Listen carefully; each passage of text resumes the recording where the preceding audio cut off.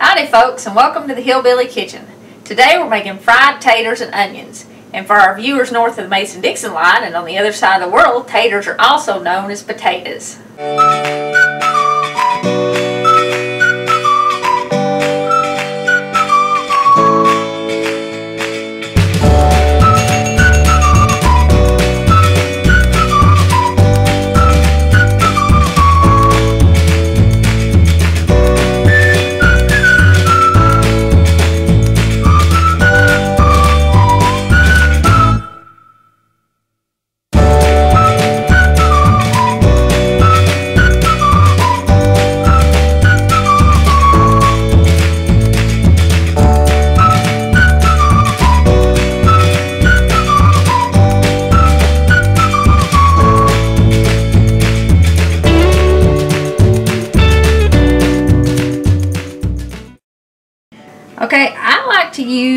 Either Yukon Gold or Redskin potatoes when I'm making fried taters.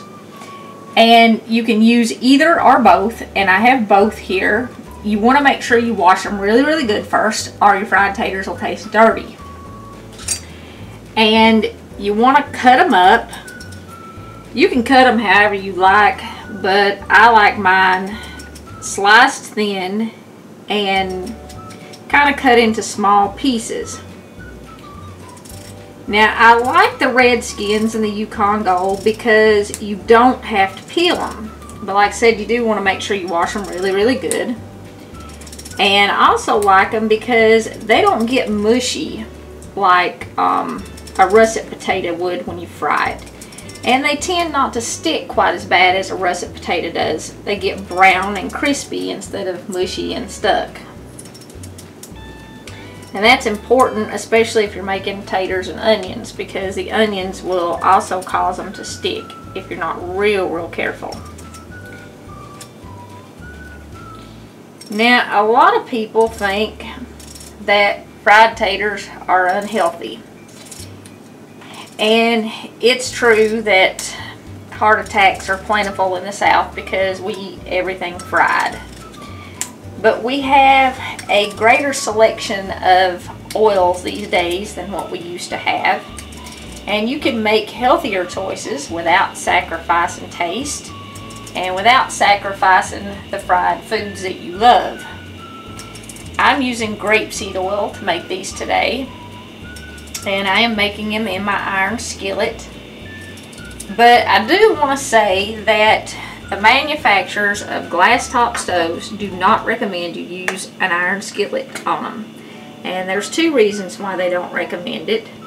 It's because the iron skillet is heavy and if you just bump your stove top the wrong way you could crack your stove top. So if you have a glass stove top you might want to think twice about using an iron skillet. Also the iron skillet is not smooth on the bottom like a pressed aluminum pan would be, you know, like you find in your non-stick and stuff. And if I slide this around, it will scratch the stove top. Now you can see I didn't use a ton of oil in here. I just coated the bottom real good. And I may have to add a little more as my taters start cooking. If I do, I will. But this grapeseed oil is loaded with omega-3s and omega-6s. It doesn't have any saturated fat in it. It has a lot of vitamin E in it and I really like the way it tastes better for fried taters than um, like Crisco or something like that. It's not as heavy and they're not as greasy tasting when you make them. Now you want to let this oil preheat until it starts to separate kind of. You can see the oil, oil start to move in the pan. It's not actually going to boil, but you want it really hot before you dump your taters in. And we're not going to add our onions until our taters have started cooking. So we'll give that just a minute to preheat. And if you're not sure exactly what it looks like when it's preheated, you can take just a piece of your tater and you can drop it in and it'll start to get little bubbles around it when the oil gets hot. You know, the world is a pretty scary place and I suppose it always has been. I grew up during the Cold War and we were worried about them Russians dropping a bomb on us. But today, it seems like there are more doomsday theories going around than there are taters in the world. I mean, you've got everything from a super volcano in Yellowstone to meteor strikes to the government releasing a plague on us, martial law, terrorists releasing a plague on us, or dirty bombs, or it just goes on and on and on and on. A superbug just popping up somewhere. And you can absolutely worry yourself to death about this stuff. But if you're worried about the world ending, you might want to think about the fact that every two seconds somebody in the world dies. And none of us know when our two seconds are going to be. So you might ask yourself, in this world full, full of worry and not knowing when your two seconds is going to pop up and you're going to be the next person, how in the world do we stop worrying? How do we get some peace? Well, the Bible says that we have peace with God through our Lord Jesus Christ.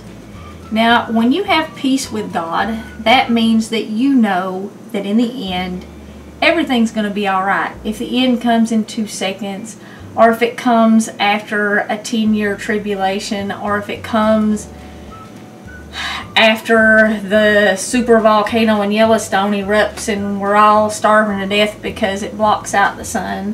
Whenever the end comes, however the end comes, if an engine falls off of a jet as it's going over the house and it falls through the roof and hits you in the head, you know that you're going to be okay if you have peace with God. Now, if you don't know how to find peace with God, it's pretty simple. The Bible says, For God so loved the world that he gave his only begotten Son, that whosoever believeth in him should not perish but have everlasting life. And Jesus said, I come that they may have life and have it more abundantly. So it's not just everlasting life, eternity is taken care of, but Jesus said that we can have an abundant life while we're here. And that doesn't necessarily mean, you know, that you're going to be driving around in a Mercedes and you're going to be living in a big mansion or whatever. It means that your life is going to be full. You will have people who love you. You will have the need, the things that you need in life. And God does provide. So, if you don't know how to get that peace, and if you're one of those people who are is worried and would like to, the first thing you have to do is you have to know that you're a sinner and you have to admit it. And that's pretty easy because unless you were born of a virgin in the Holy Ghost, you're just like all the rest of us and you are a sinner. The Bible says all have sinned and come short of the glory of God. So knowing you're a sinner is pretty simple. You have to admit that to God and you have to ask for His forgiveness and you have to be willing to turn away from those sins. Now, that's hard sometimes because a lot of us want to believe that what we're doing that the Bible calls sin is not really sin. It's not really what God meant, but He's actually pretty clear. Now, you can see here that we have bubbles around our one tater that we have dropped in there. So I am going to very carefully dump all the rest of our taters in.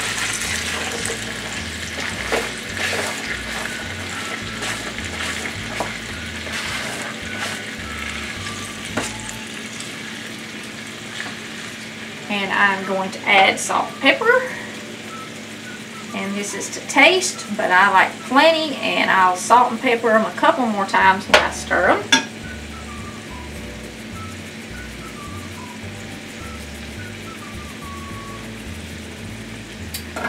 and we're going to cover them with a lid for a few minutes.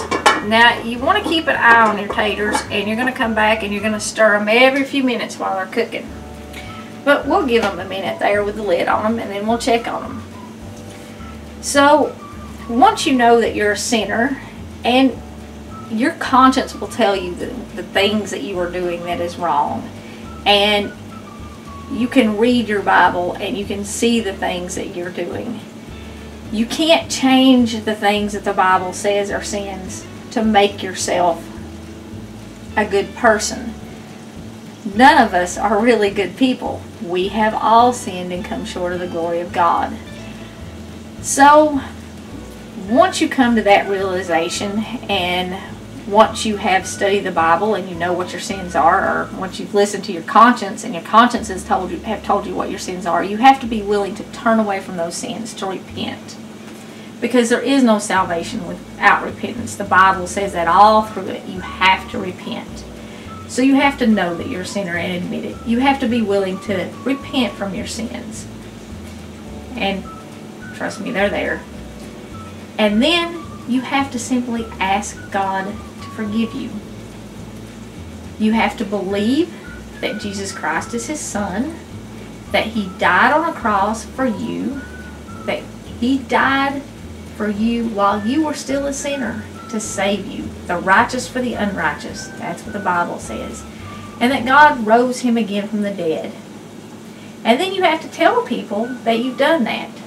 That you believe that Jesus is your Lord, that you believe that Jesus died for you. And it's just that simple to find peace in this very scary world. To know that you're going to be okay no matter how bad things get, or no matter what fate befalls the world. Because the fact is, something is going to happen. The world is going to end, and in the next two seconds, it's going to end for another person. So, you know, it's not that hard. Just admit it, believe it, ask, and confess it. Oh, while our taters are cooking there, we're going to chop up our onion. Now, there are a few things about chopping an onion to keep you from crying. If you store your onions in the refrigerator and they're cold, you won't cry as much when you cut them. And if you store them whole in a plastic bag, you know, not uncut, once you cut them, it's really hard to store them without stinking up your refrigerator. But if they're not cut and you put them in a plastic bag, a Ziploc bag or something, they won't stink up your refrigerator real bad. So keep them in the refrigerator and get them cold. Even if you don't keep them in the refrigerator, if you know you're going to have to chop onions for something like taters and onions, put you one in there a couple hours before you're to cut it up and get it cold. And you won't cry as bad. And the other thing is that when you cut this end, the back end here, it releases a lot of the juice. So anytime you cut it, you're going to be more likely to cry. So when you're actually chopping the onion, cut it lengthways from the front or the top of the onion toward that back. Don't cut all the way through. And you can cut it as fine as you want if you're doing it this way. You just make your um, cuts closer together. Or you can cut it more coarse. I do like it kind of fine when I'm cooking fried taters and onions. Then you turn it and you cut the other direction. And I haven't cut that end, so I'm not getting a lot of juice. And I'm not crying. See, my end is still intact there.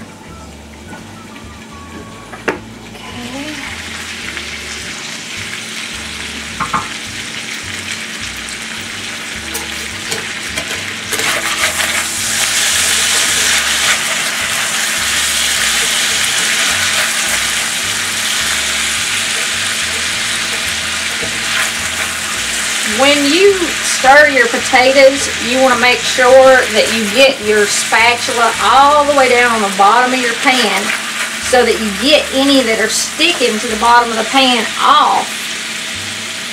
That way you don't end up with really bad burn places and all your potatoes don't end up stuck to the bottom of the pan. If you don't scrape them off the bottom every single time you stir them, you won't get brown potatoes. You'll just have burned stuff in the bottom of your pan that's impossible to clean. And you can see in here I don't have an overabundance of oil, but the bottom of the pan is still coated good. And I've stirred the potatoes up really good. So it looks like I've got enough. All the potatoes are coated now. But if they start, if the bottom of the pan starts to look totally dry as I'm cooking them, I will add a little more oil.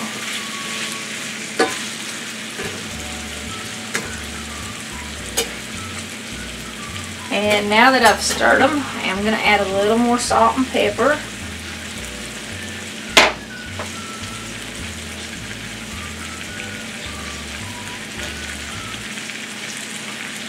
And I'm going to put the lid back on for just like another, you know, four or five minutes, which is about how long they were cooking before I stirred them the first time.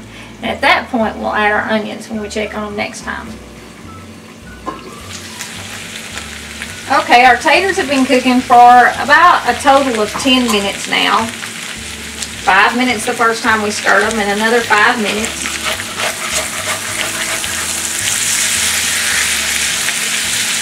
And in case I forgot, I have these cooking on medium heat.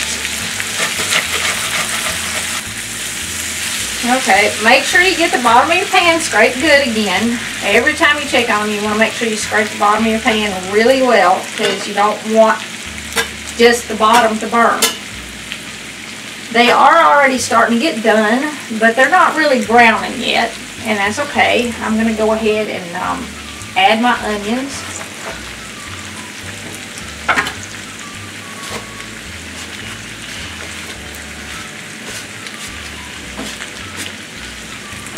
Always make sure I wipe my stove up really good before I start making fried taters because I always knock a few out when I'm stirring them like I did there just a second ago. So it's okay to put them back in the pan if you knock a couple out when you're stirring them. Add a little salt and pepper to your onions. It'll bring out flavor. If I didn't pick up the ones I knocked out when I was stirring them, I wouldn't have any left when I got done. And we're going to cover them again with the lid for about another five minutes to start cooking those onions. And then when we check on them next time, we're going to take the lid off. Okay, our onions have been in mm, about five or six minutes. We're going to stir the taters again. And at this point, that handle's getting hot.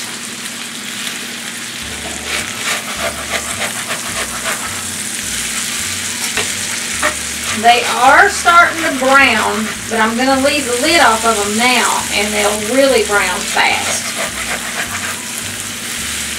Make sure you get that bottom scraped good.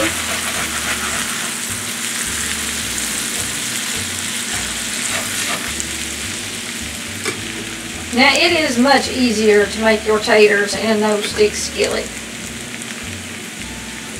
And it's perfectly fine, but every once in a while, I like to drag out the cast iron skillet. Because they do taste a little different.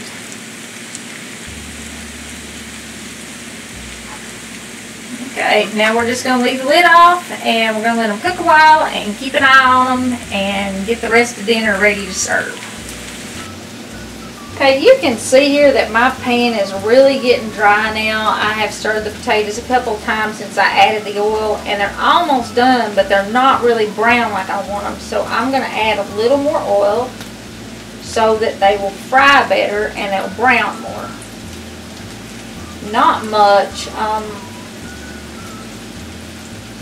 probably about two tablespoons is all I'm putting in here. And I probably started with a little less than a quarter of a cup.